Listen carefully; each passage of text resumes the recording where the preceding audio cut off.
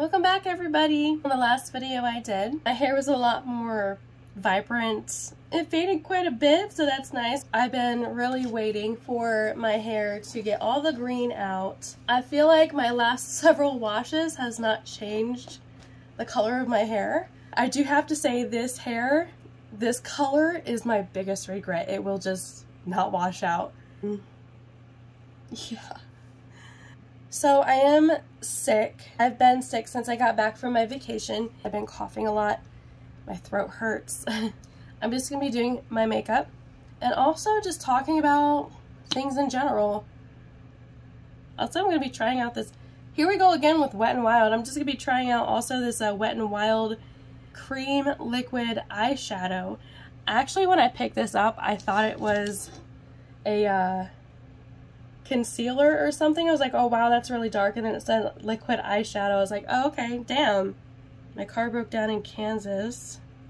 It's got to stay there for like a month now to get the whole engine replaced. I feel like this would take forever to dry. Hi. Hi, I love you. Uh, yeah, I don't think this is going to be really good at all.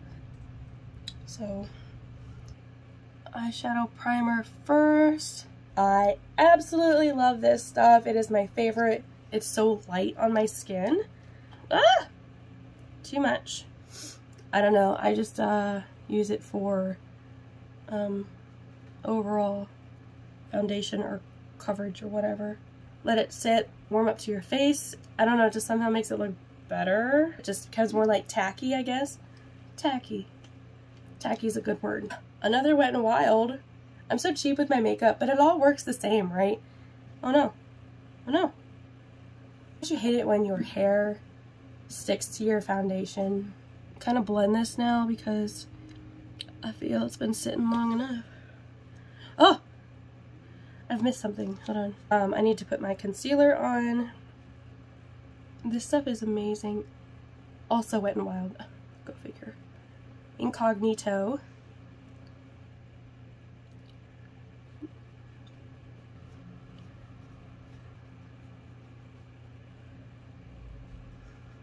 On my trip, I went to um, Memphis and I met my friend Jason, who's been my friend for a very long time. We just talk every day on the phone. I just wish we would have spent more time together. It might just be easier for me to move there. And plus I do love the East. And Arkansas is pretty east. He's just always been there for me. Always been such a nice guy. He's so sweet and so kind and so gentle. Like we were in the elevator at uh, the Peabody Mo the Peabody Hotel, and he just so ever so lightly just kind of like put his hand like on my like upper butt slash hip area so gently. And I was like oh that's so sweet. It was really nice. When we were talking before we met this is not a big deal because I don't really care. I'm just kind of surprised. He sent me pictures um, that were older like a year or two older. Some of them I guess maybe were newer but he was way thinner, way thinner in those pictures. When we met in person, he was a little chubby, but I'm like, you know what? I really don't care. I'm chubby too. Why would he not send me pictures of what he looks like now? I don't care if you have a belly. I'm actually sad that he um, didn't feel comfortable enough to send me pictures of him now. So I told him, look, I'm not mad. I'm not upset just love your body. He thought I was beautiful. We held hands the entire time while we were in Memphis and it was so, so sweet. It just made me feel so safe and wanted. Just gonna lightly do him. We're just, like I said, trying to figure out what we're gonna do. We could just move out east like we wanted to. And he's always complaining about the mosquitoes in Arkansas. Every time he complains about the mosquitoes, I'm like, come to Arizona. And um, he never answers me back on that. I think I'm gonna try this liquid shit right now. Like this don't show up at all. Ugh. This is for someone who has like the palest skin ever. Let's see.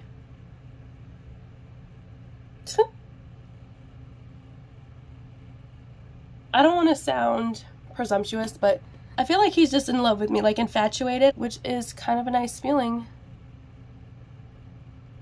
This is actually not bad. This was at the Dollar Tree.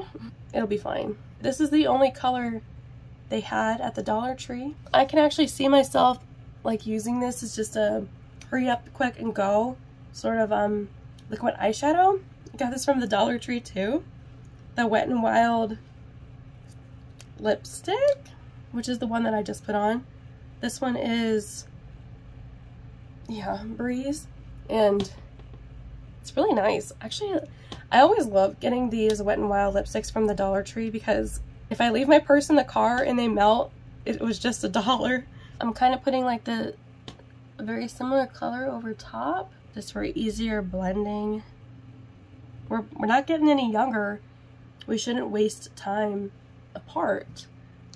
I feel like I just cannot keep up with a story when I'm doing my makeup. I think we would have such a great, happy relationship together. Because he, like, in our conversations, he's always putting me first. And that's just in a conversation through text message and phone.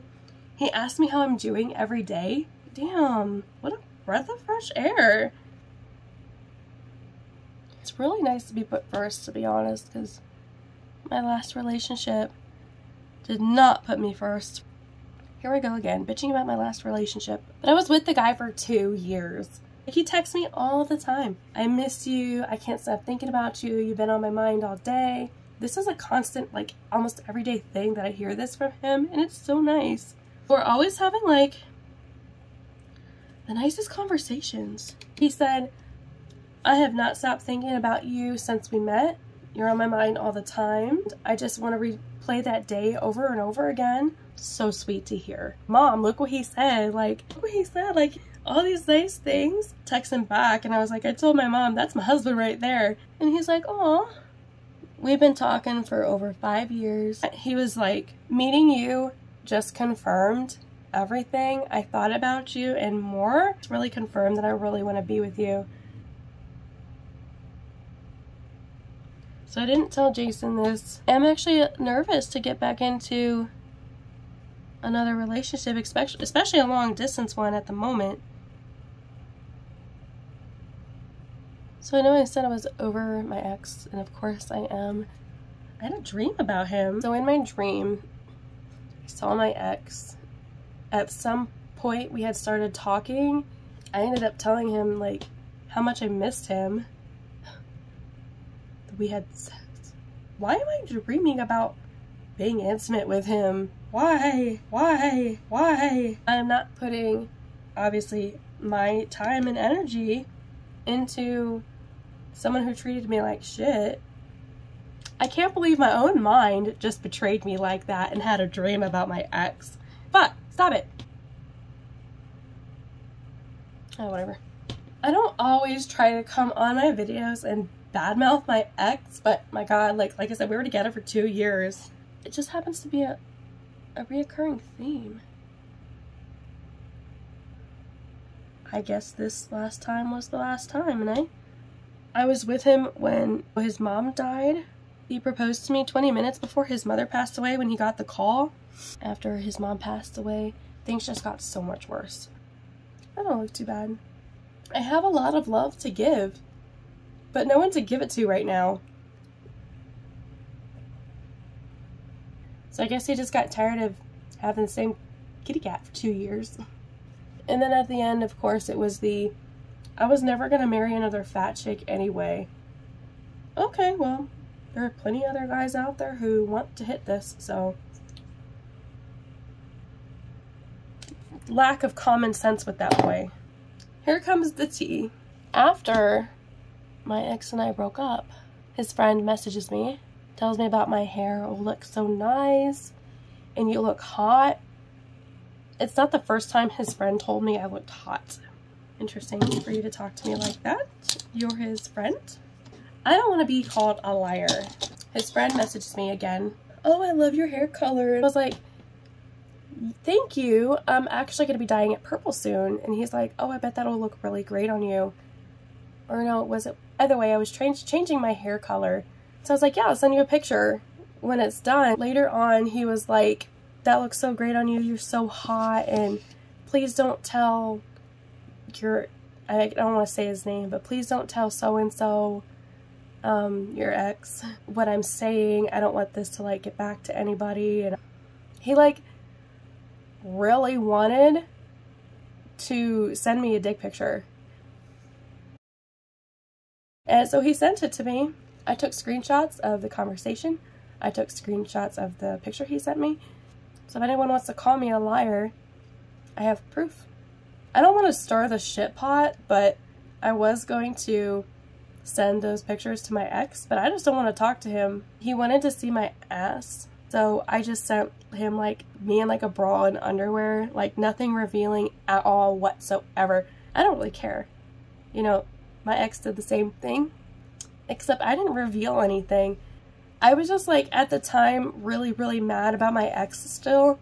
I'm still pretty hurt by everything. Haven't physically been with another guy besides kissing Jason in Memphis. Jason is such a breath of fresh air. He's such a nice guy. I'm just always happy when I talk to him. I love the sound of his voice. Little southern accent. I like it. I love his voice. His voice is so calming to me. I told myself I would not look for friends with benefits, but I kind of really want a friend with benefits because I feel like the hoe is coming back out of me because I'm so bored and so lonely. Ugh. But I ain't, I ain't trying to be a hoe. I have needs. I really need to get working on like my next video. It's just like this fun little video. It's more memory for me. The passing of my ex's mother made me realize how short time is and, and I wish I would have known her longer because she was so nice. She was like really nice. Life is so short. I always think about that with my mom now. Like, I just want to take more pictures with her and I want to film more things with her. We just don't have a lot of time on this earth. But thanks for watching my video. I hope you guys enjoyed.